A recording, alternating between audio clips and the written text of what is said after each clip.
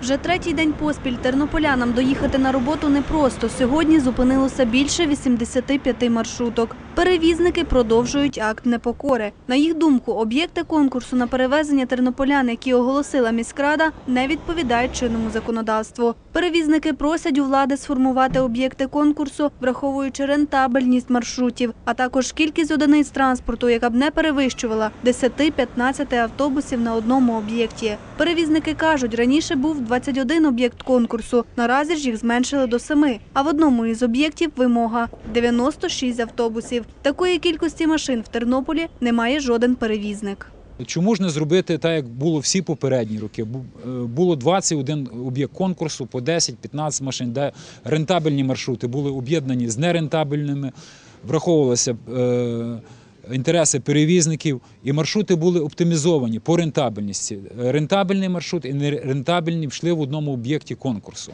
І це правильно. Зараз на даному часі е, поставили е, в шостий об'єкт усі рентабельні маршрути, а в п'ятий об'єкт конкурсу усі нерентабельні. Хто їх буде закривати, ті нерентабельні маршрути, то нам також невідомо. Який перевізник в Тернополі має 96 машин?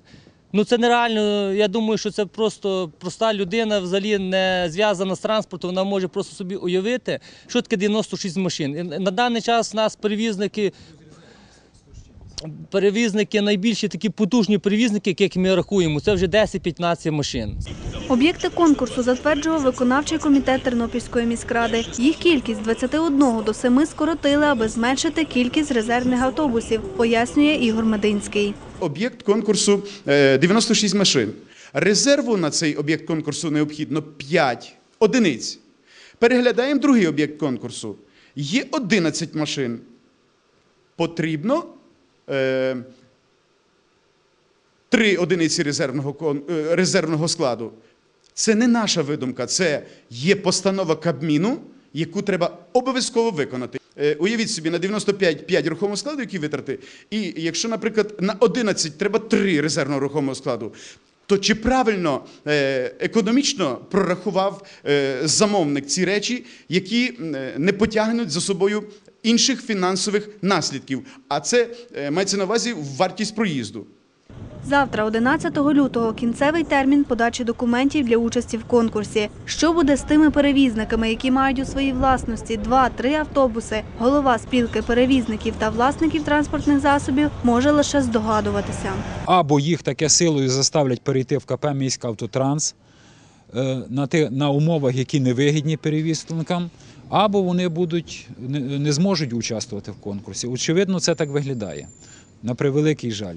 Тобто свободи вибору нема. Перевізників, які мають більше 10 одиниць, є буквально 2, а може 3.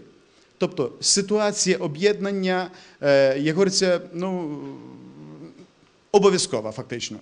Е, з ким об'єднуватися це їхні власні проблеми. І не треба говорити, що хтось кудись когось спрямовує. Це їхні власні комерційні е, проблеми і домовленості. Станом на сьогоднішній ранок у Тернополі лише один перевізник подав документи для участі у конкурсі, який має відбутися 28 лютого. Перевізники визнають, що зупинкою автобусів спричинили незручності тернополянам, але кажуть, стоятимуть, доки влада не прислухається до них.